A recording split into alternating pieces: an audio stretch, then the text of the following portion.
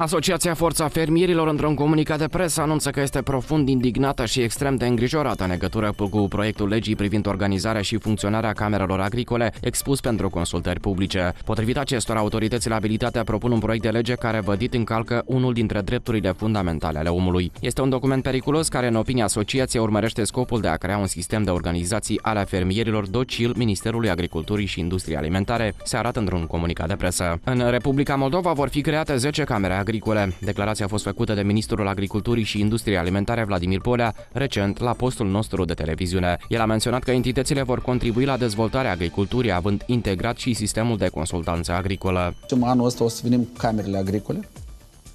Va fi o premieră absolută în Republica Moldova. Camerele agricole este legea camerelor agricole în care agricultorii se vor autoadministra.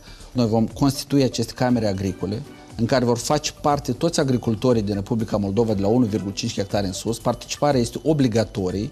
Potrivit lui Vladimir Bolea, conducerea camerelor agricole va fi aleasă de fermieri, iar Ministerul de Resort va acoperi cheltuielile curente. De asemenea, vor fi identificate resurse financiare și din partea mediului privat. Ministerul Agriculturii va veni în aceste camere agricole cu salarii pentru consilieri, pentru părțile astea de persoane ca angajate, dar în rest vor fi elective, ei își vor alege conducerea lor ca să fie un dialog continuu între agricultorul de la firul ierbii, minister și viceversa.